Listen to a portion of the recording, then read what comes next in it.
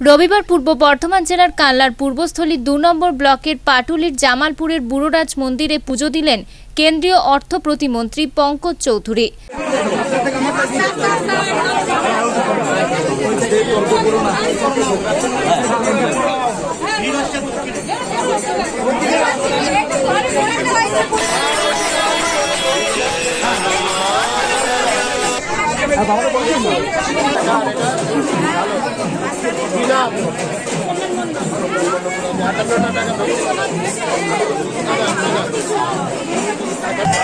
পাশাপাশি স্থানীয় বিজেপি কর্মীদের নিয়ে বৈঠক করেন। পরে নিমদহ পঞ্চায়েতের চাঁদপাড়া এলাকায় নিহত বিজেপি কর্মী সুখদেব প্রামাণিকের পরিবারের সাথে দেখা করে তাদের পাশে থাকার আশ্বাস দেন। আজকে এসেছিলেন কেন্দ্রীয় মন্ত্রী। আচ্ছা। ওনার কাছে অভিযোগ করলাম। যে আমার ছেলেকে যেভাবে মেরেছে চোখে তো দেখিনি হুম কিন্তু যারা মেরেছে হ্যাঁ তারা এখনও অধরা।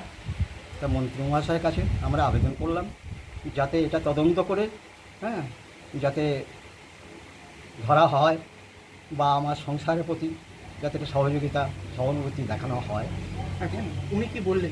উনি কথা দিলেন যে আমরা ঠিক আছে এটা নিয়ে আমরা বিচার বিবেচনা করছি বা দিচ্ছি পার্টি পাশে আছে পার্টি পাশে আছে বলে পার্টি সবসময়ের জন্য আপনার পাশে আছে আপনাকে সাহায্য সহযোগিতা সব রকমভাবে করবে পরে সাংবাদিকদের মুখোমুখি হয়ে কেন্দ্রীয় অর্থ প্রতিমন্ত্রী জানান और भोले जी का दर्शन भी करें और ये हमारे पुजारी जी का निवास स्थान था उनसे भी मिलने का अवसर आया और कहीं ना कहीं एक वर्करों से मिल करके राय बात करके पार्टी यहाँ कैसे मजबूत हो उस दृष्टिकोण से मैं यहाँ पर आया हूँ सर ममता बनर्जी की बास भवन में एक अज्ञात व्यक्ति घुस गया।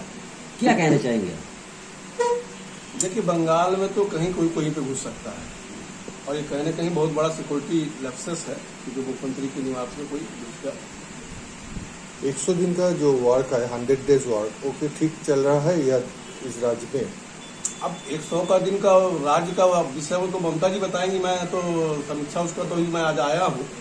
और निश्चित तौर से वर्करों से मिलूँगा फिर ठीक से उस पर हम व्याख्यान कर सकेंगे वो मोदी जी कह रहे हैं कि एक सौ दिन का का, काम का जो रुपया केंद्र से आते हैं वो आप ठीक तरह से नहीं भिजवा रहा है इसलिए यहाँ पर एक सौ दिन का काम रुक गया है।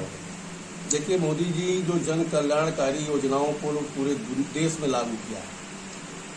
अगर आप देखें तो जितना भी मकान बनना था शौचालय बनना था किसान सम्मान निधि था बंगाल तो खुद ही यूटिलाइज नहीं कर रहा। हम तो देना चाहते हैं, हम तो दे रहे हैं, पूरे देश में दे रहे हैं, सबका साथ, सबका विकास, कोई भेदभाव नहीं है। लेकिन बंगाल उसको यूटिलाइज ही नहीं करता है। मैं उन्हीं से मिलने, उन्हीं से बात करने आया हूँ कि भाई वो भारतीय जनता पार्टी है, जब हमारे लोकसभा में मात्र दो सदस्य। और आज वो भारतीय जनता पार्टी है कि हम टू थर्ड मेजोरिटी से लोकसभा में पहुँचे ये वही भारतीय जनता पार्टी है, जब हम जमानत बचाने में भी प्रसन्नता व्यक्त करते थे। लेकिन आज अधिकांश प्रदेश कह लीजिए कि भारतीय जनता पार्टी के पास है और निश्चित तौर से संघर्ष हमारा काम है आज दुनिया की सबसे बड़े अ, संगठनात्मक पार्टी में से भारतीय जनता पार्टी एक है हम सबको गर्व होना चाहिए কাল্লা থেকে রীতা ভট্টাচার্যের রিপোর্ট আনন্দ বার্তা